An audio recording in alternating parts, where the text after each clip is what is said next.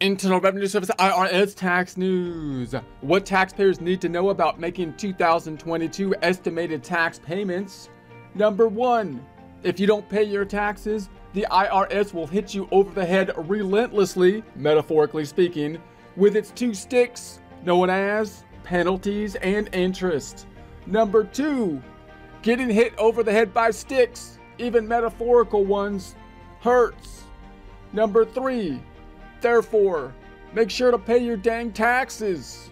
IRS Tax Tip 2022-90 June 13th, 2022. By law, everyone must pay tax as they earn income. In other words, as you make the money, the IRS wants their share of it. They don't want to wait till the end of the year. They certainly don't want to wait till next year by April 15th when you actually file the tax return. They want their money now as you earn it. You might say, well, wait a second.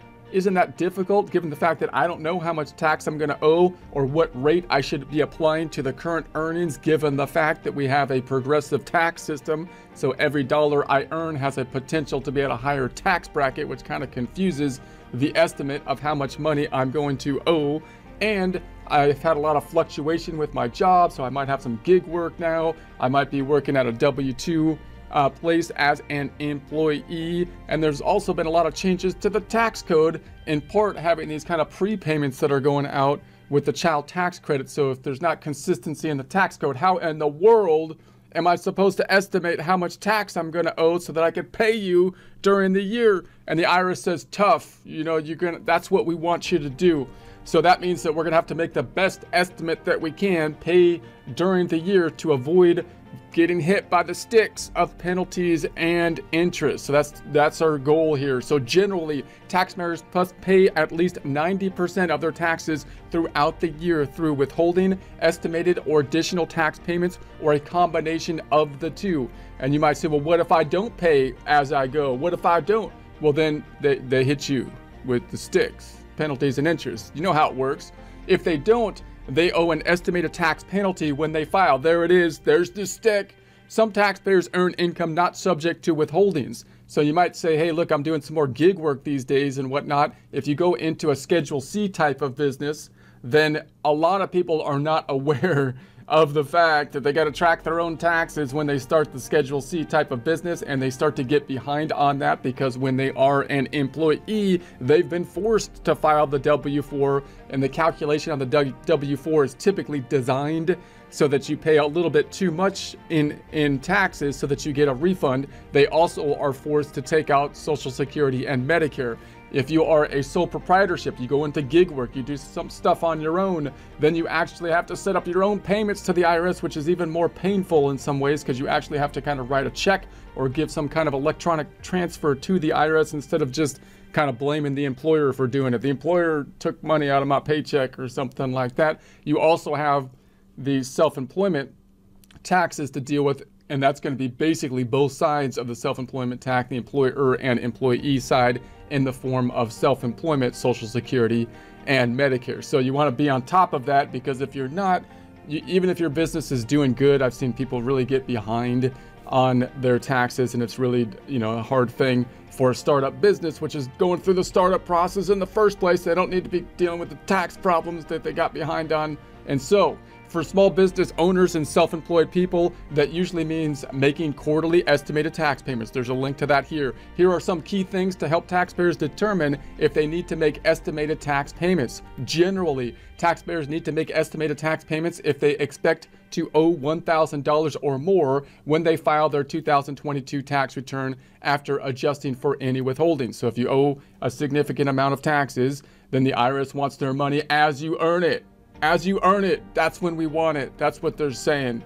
So the IRS urges everyone in this situation to check their withholding using the tax withholding estimator on irs.gov, irs.gov. And this is getting a better and better tool.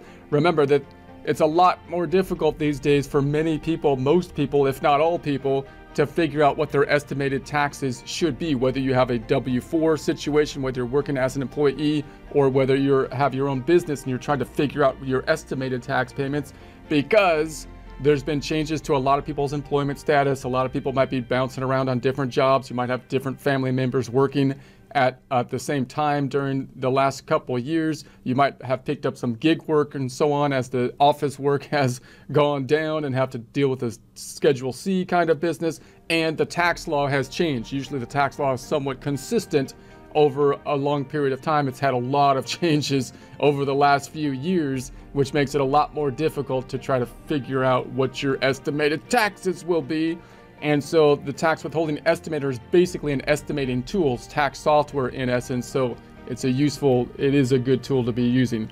So if the estimator suggests a change, the taxpayer can sub submit a new form W-4 to their employer. So if you have an employer and your tax withholding situation changed, don't think that the employer is going to give you advice. They probably won't because the HR department doesn't want to get sued. They just want to make sure that they give you the, they're just going to say, here, here's the W-4, here's the process. They're not going to tell you, you know, how to fill it out or something like that generally. You want to use the tax withholding estimator to do that and then give that to the HR department who will then do what you tell them to do so they don't get sued. So aside from business owners and self-employed individuals, people who need to make estimated tax payments also include sole proprietors, partners, and S corporation shareholders. It also often includes people involved in the sharing economy. The sharing economy is so nice. Corporations generally must make these payments if they expect to owe $500 or more on their 2022 tax return. Aside from income tax, taxpayers can pay other taxes through estimated tax payments. These include self employment tax and alternative minimum tax. Alternative minimum tax often hits higher income individuals. So if you have to deal with that, you got to deal with that. You're probably aware of it.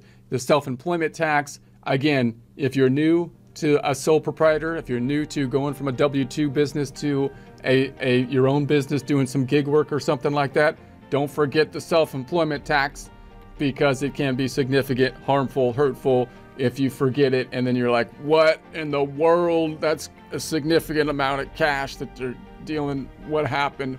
The remaining deadlines for paying 2022 quarterly estimated taxes are June 15th, September 15th, and January 17th, 2023. Taxpayers can check out these forms for details on how to figure their payments. You got Form 1040ES, that's like the, the 1040 voucher form estimated tax for individuals, Form 1120W, estimated tax for corporation.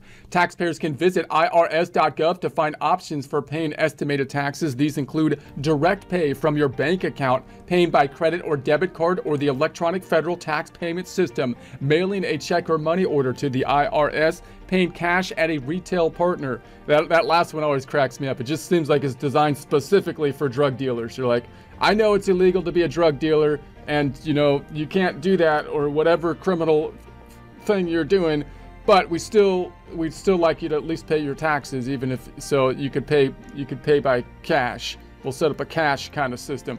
Anyways anyone who pays too little tax throughout withholding uh, through withholding, estimated tax payment, or a combination of the two may owe a penalty. In some cases, the penalty may apply if their estimated tax payments are late. The penalty may apply even if the taxpayer is due a refund. For more information on this very uh, in, informative and uh, and interesting topic, you can look at form uh, about form 1040. There's a link to that form 1120 instructions, publication 505 tax withholding and estimated taxes. There's links to that stuff. There's links to the withholding estimator tool and all the forms that we talked about. It's all here. It's all here. And there'll be a link to this in the description.